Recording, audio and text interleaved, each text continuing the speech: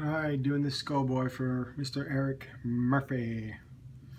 Good luck everybody. There's a total of uh, 13 participants. Let's get started.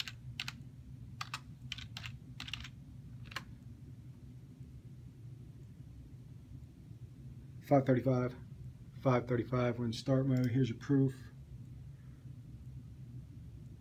Alright, we're gonna go to random fresh yeah, security, connection. 1 through 13. Let's see who's going to be the winner. Number two, congratulations on number two being the winner at 536. Number two, Matt Epperly. Not one off there, buddy. All right, final stamp.